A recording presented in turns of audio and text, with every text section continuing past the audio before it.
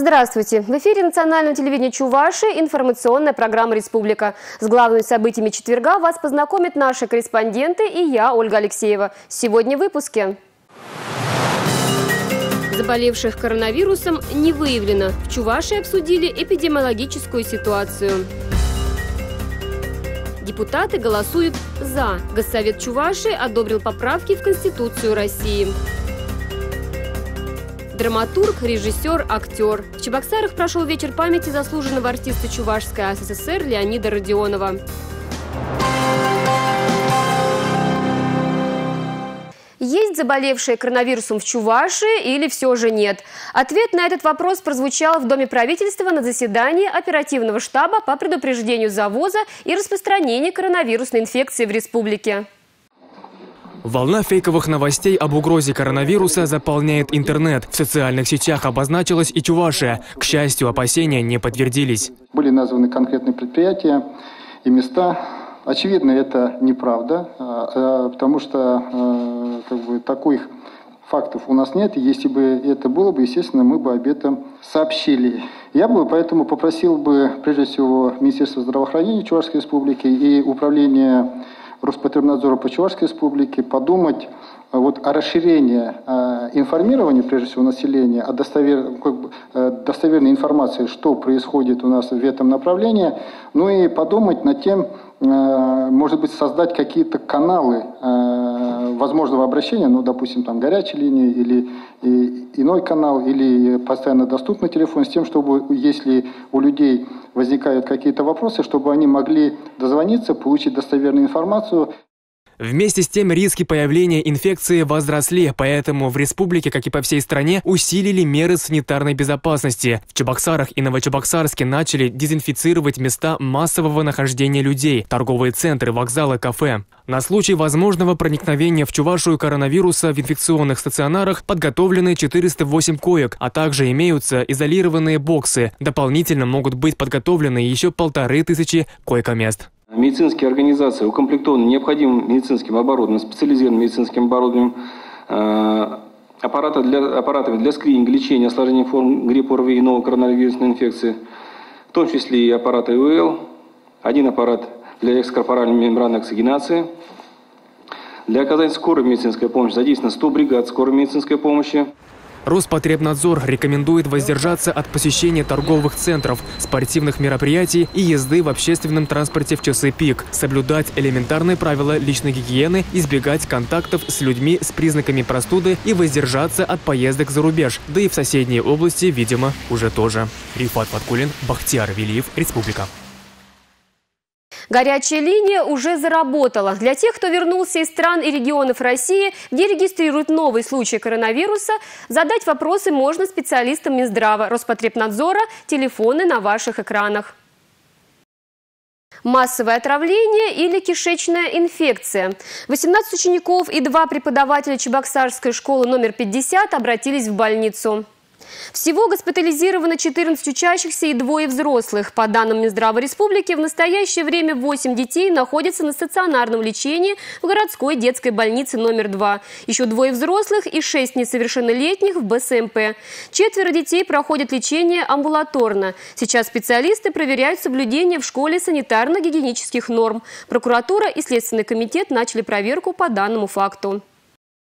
Следственными органами Следственного комитета Российской Федерации по Чувашии проводится проверка по факту массового отравления учащихся в одной из школ города Чебоксары. Всплеск желудочно-кишечных расстройств у учащихся был зафиксирован в ночь с 11 на 12 марта 2020 года. По предварительным данным, всего с признаками пищевого отравления были госпитализированы 14 учеников школы. Со слов родителей, жалобы на тошноту, рвоту и боли в животе у детей появились после приема пищи в школьной столовой днем ранее. Незамедлительно на место происшествия прибыли следователи. В настоящее время проводится тщательный осмотр места происшествия, опрашиваются очевидцы, проводятся иные мероприятия, направленные на установление всех обстоятельств произошедшего. В ходе проверки следователями будет дана надлежащая правовая оценка действиям либо бездействию конкретных лиц, ответственных за случившееся. Будут установлены причины и условия этому способствующие. По результатам проверки будет принято процессуальное решение.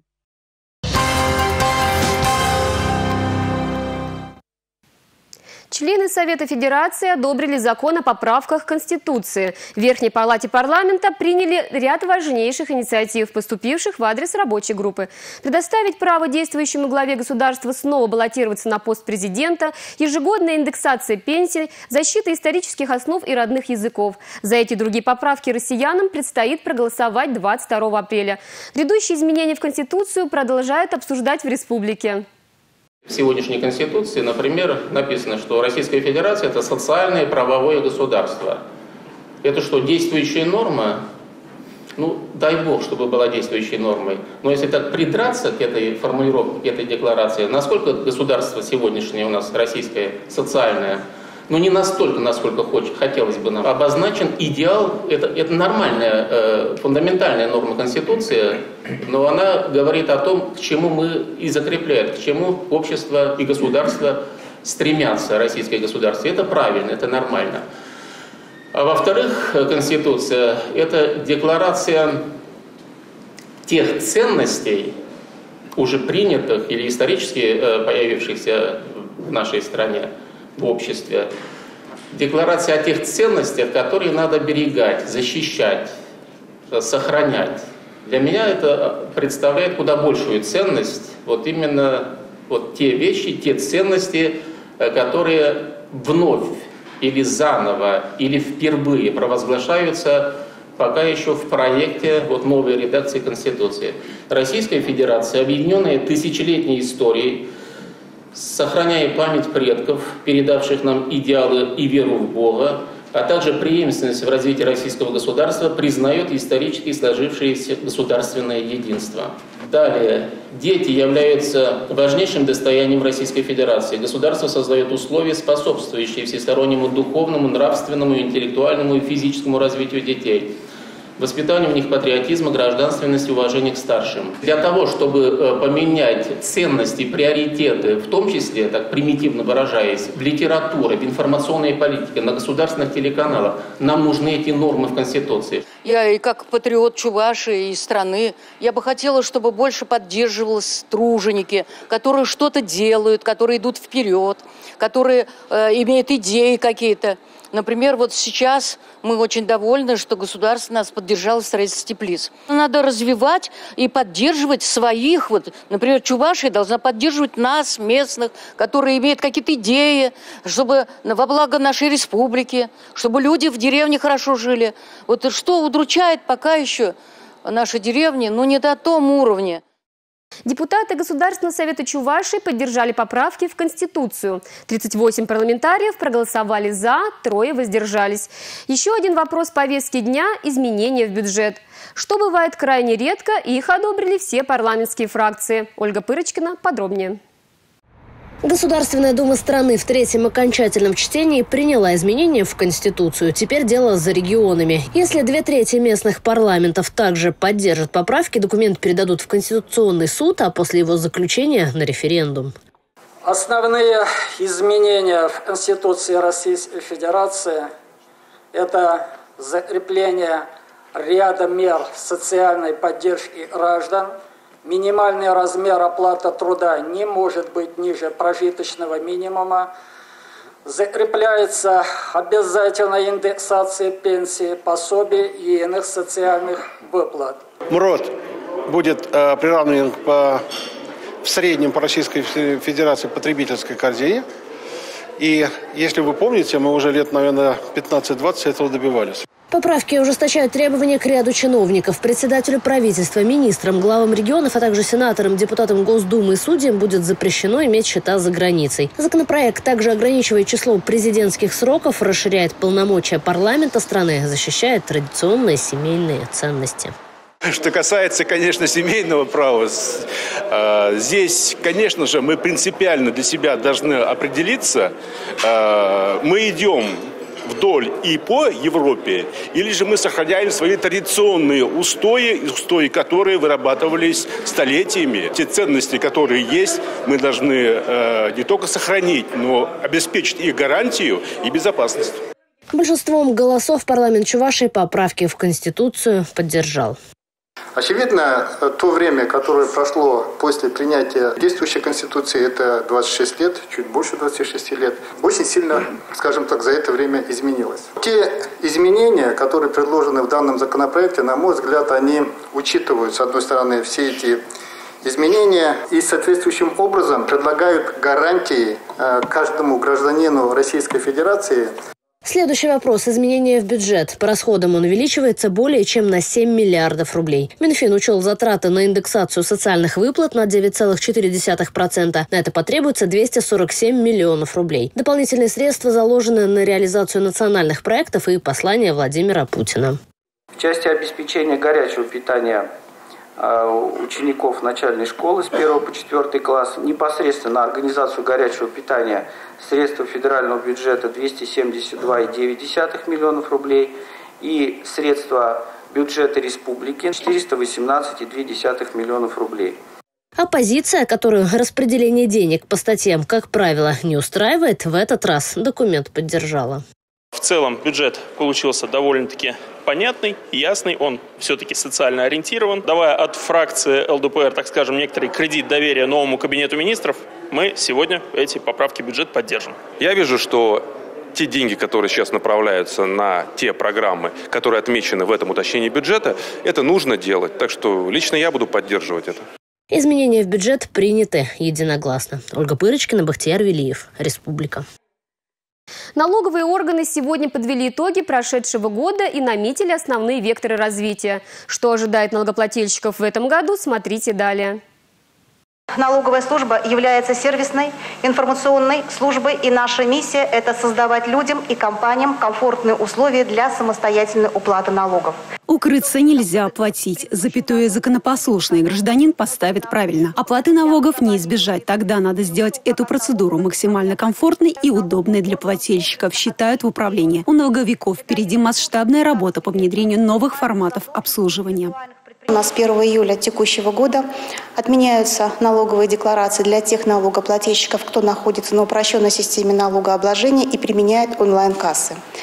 А, в этом случае мы уже не будем от них требовать налоговую отчетность, а сами будем а, проверять те доходы, которые получил наш налогоплательщик и правильно ли он их исчисляет. Чтобы обеспечить комфортный переход на новый налоговый режим, специалисты наметили круглые столы, обучающие семинары с целевой аудиторией. Эффективнее работать позволяют и цифровые технологии, так онлайн-голосование по особо важным вопросам. Опросы позволяют грамотно выстроить партнерское взаимодействие. Что касается основных показателей, по итогам 2019 2019 года бюджет дополнительно поступило более 12 миллиардов рублей, в том числе без проведения налоговых проверок 385 миллионов. При этом количество выездных налоговых проверок снизилось на 27%. Темп роста поступлений, обеспеченный управлением в 2019 году, выше темпа роста в среднем по Приволжскому федеральному округу почти на 4 процентных пункта. Поступление страховых взносов на обязательное социальное страхование в 2019 году достигло 30 миллиардов рублей. Хорошую динамику нам показал единый налог в связи с применением упрощенной системы налогообложения. Как я уже сказала, рост составил порядка 17% обеспечено увеличение поступления налогов на имущество в целом по группе имущественных налогов, значительный рост поступления по транспортному налогу, а это 115%. Такие показатели позволяют налоговым органам Чувашии второй год подряд занимать лидирующие позиции, второе место по ПФО и быть в десятке лучших по стране. Взаимодействие с прокуратурой и службой судебных приставов помогло увеличить и страховые взносы от индивидуальных предпринимателей на 26%. Лучшей по итогам ежегодного межрайонного экономического соревнования в этот раз стала инспекция Федеральной налоговой службы номер 7. Она обслуживает налогоплательщиков Козловского, Красноармейского, Урмарского и Цивильского районов республики. Наталья Мальчикова, Андрей Шоклев, Республика. Сегодня временно исполняющий обязанности главы Чувашии подписал указ о дополнительных мерах по привлечению молодежи на государственную службу. Перед будущими управленцами открываются большие возможности. О кадровом потенциале органов власти расскажет Дмитрий Ковалев. Текст указа в Рио главы республики уже опубликован на официальном портале органов власти. Наша съемочная группа изучила документ. По поручению руководителя региона будут созданы условия для подготовки управленческих кадров. Переходим к церемонии подписания указа. Временно исполняющий обязанности главы Чувашской Республики Олег Алексеевич Николаев подписывает указ о дополнительных мерах, направленных на привлечение молодежи к работе в системе государственного управления. Указ подписан. Для того, чтобы мотивировать молодежь к работе в органах власти, в республике уже в апреле проведут дни карьеры в системе госуправления. То есть цель простая, цель простая, чтобы молодежь, вы могли себя попробовать в органах государственной власти. То есть не сразу прийти работать и потом разочароваться. Наверное, такое тоже бывает. А прийти попробовать качество управления, э, качество организации самого процесса управления как раз будет нам э, давать возможность завтра быть конкурентными, завтра быть, э, скажем так, э, такими, какими мы хотим. Ну и в итоге, самое главное, э, возможность брать более новые высоты. Кандидатов на гражданскую и муниципальную службу даже планируют привлекать к участию в общественных советах. Эта мера также прописана в указе. За студентами вузов закрепят наставников, лучших трудоустроят. Проведенный анализ показал, что будущим управленцам не хватает практических навыков. А, вообще а, считаю, что работа в государственной структуре, она связана с большой ответственностью и требует внимательного отношения к делу. На молодого человека свя- а, сваливается многозадачность, которая непременно связана с госслужбой. Она, конечно, иногда дается нелегко. Поэтому я считаю, что главной проблемой, с которой сталкивается молодой человек при поступлении, это возможность не попасть в доброжелательный коллектив. По данным опросов студентов вузов, молодежь на госслужбу может привлечь потенциальный карьерный рост и высокий социальный статус. Сейчас, отметил в Рио главы региона, в управленцах ценится нестандартное мышление и креативный подход к работе. Очевидно, что за молодежью а вообще будущее, завтрашний день. То, каким он будет, то, какие, каким содержанием завтрашний день будет наполнен. Ну и, конечно же, э, все то, что будет происходить, это тоже зависит прежде всего от вас. В этой аудитории потенциальные управленцы, представители молодежного правительства и разработчики социальных проектов. Ну, госслужба, она в любом случае нужна. Э, самое главное показать ребятам э, положительные стороны, развеять некоторые мифы, как это бывает, в принципе, везде, и доказать просто, что э, не просто необходимо идти туда, потому что ты выучился на это, а потому что это определенные возможности для дальнейшего развития. Ну а творческий потенциал молодежи раскрывает студенческая весна. Старт очередному фестивалю Олег Николаев дал сегодня в Чувашском госуниверситете.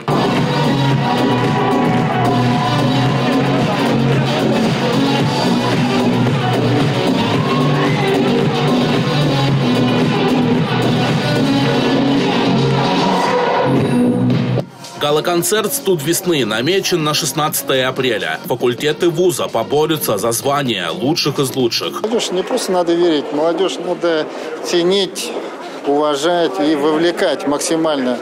И тогда, э, ну, как бы через веру, конечно, да, тогда э, мы завоюем их доверие. То есть, как бы тут задача стоит завоевать их доверие. Поэтому все-таки вот доверие, оно до веры. Поэтому здесь как бы процесс взаимный.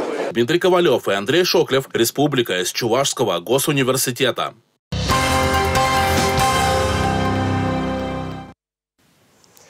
За именами улиц героические судьбы. О них знает порой даже не каждый взрослый. Рассказать о героях Советского Союза призван столичный проект «Улицы героев». Логинова, Анисимова, Кочетова. Этими именами названы улицы. Это дань памяти тем, кто доблестно защищал родину. О судьбе летчика-бомбардировщика Михаила Афанасьева старшие рассказывают младшим. Приземлившись, он выпрыгнул с парашютом из горящего самолета и побежал к лесу, но путь ему преградили враги. Потом к нему напали фашисты, и он их убил тремя пулями, три врага, и одну пулю оставил для себя. Теперь, проезжая остановку улицы Афанасьева, школьники обязательно вспомнят нашего земляка Михаила Афанасьева, павшего смертью героя в 1942 году. Истории восьми героев, чьи имена носят Чебоксарские улицы, собраны в журнале. Экземпляр с красочными иллюстрациями подвига участников Великой Отечественной войны получат многие младшеклассники. Я надеюсь, пролистав прочитав, познакомившись, вы более будете э, внимательнее относиться к нашему городу, будете понимать, что в нашей республике жили очень интересные, прославленные люди, которые своей жизнью готовы были пожертвовать ради того, чтобы вы сегодня здесь сидели в этом зале. Организаторы проекта предлагают ребятам нарисовать и историю из летописи своей семьи, ведь на фронт ушли практически из каждой. Вот это мой прапрадедушка. Его зовут Вострилов Федор Борисович. Мой прапрадедушка прошел три войны. Первую мировую войну ему было всего лишь 17 лет. Он прошел гражданскую и Великую Отечественную войну. Городскую выставку рисунков планируют открыть 1 июня. Также в рамках проекта запускают и стихотворный марафон. Чтецы из всех школ Чебоксара выступят на Таван-радио.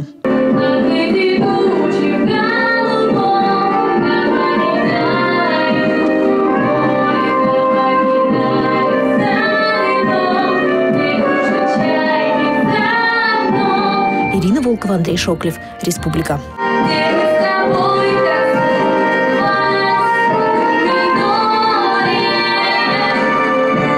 В Москве в Третьяковской галерее сегодня вечером открылась выставка «Золотая карта России». В этом году здесь представлена живопись 18-20 веков и собрание Чувашского государственного художественного музея.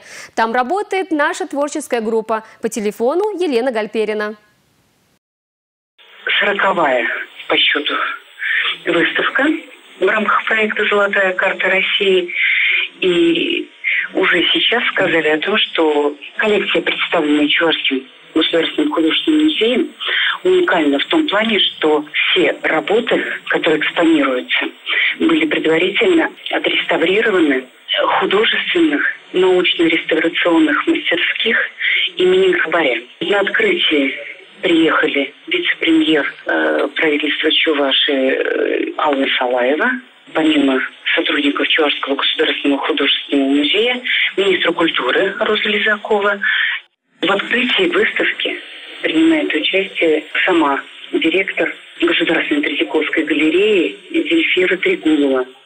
Здесь представлены э, работы как чувашских художников, так и русских живописцев из собрания Чувашского государственного художественного музея. А фамилии тут такие буквально хрестоматийные. Это и Петров Фоткин, и Кулинджи, и Перов, и Левитан, и очень многие другие известные имена. В Чувашском драматическом академическом театре состоялся вечер памяти заслуженного артиста Чувашской АССР Леонида Родионова. Известный драматург поставил на сцене около 130 спектаклей.